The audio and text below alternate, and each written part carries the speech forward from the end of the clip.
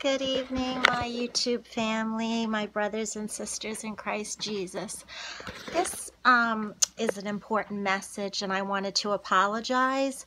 And I also wanted to say this is why um, you always have to go back to scripture and not trust any man, any person. We're all human and we make mistakes. So no matter what anybody tells you, you have to go back to scripture. And I was convicted by the Holy Spirit and also from a dear friend that subscribes to my channel uh, by email, and he's right. And um, we are not supposed to curse the devil. And so I delved into my Bible. And I'm not making any excuses, I just hate him. But um, it says, Nowhere in Scripture are we told to curse the devil. Rather, we are told to do the following in spiritual warfare. Number one, resist him steadfastly. James 4 7. Be vigilant and be sober mind. 1 Peter 5 7. Number 3. Give him no place. Ephesians 4:17.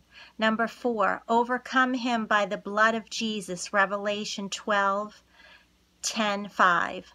Number 5. Overcome by the word of our testimony. Revelation 12 10. Number six, put on the whole armor of God and stand up against the wiles of the devil. Ephesians 6:11. Number seven, not be novice. 1 Timothy 3:16. And number eight, not to be ignorant of his devices. 2 Corinthians 2:11.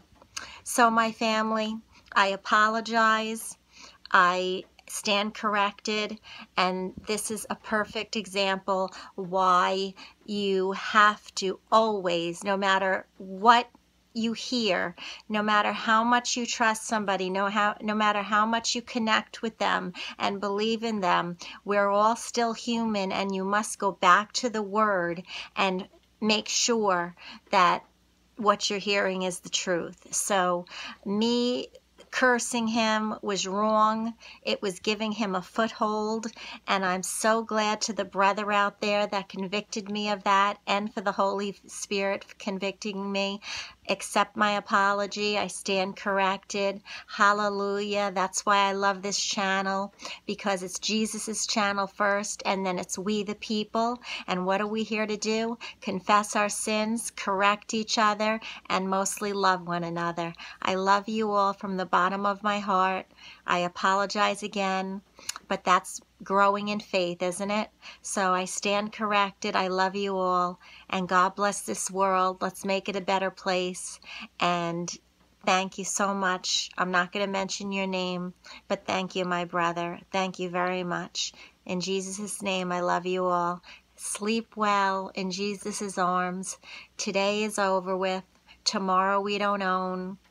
We not, not know the hour nor the day when our Father returns. So let's ple please be vigilant and be of sober mind and be of good cheer and spread love, not hate, not division, unity, forgiveness, and learn how to fight Him the way that Jesus is want Jesus wants us to.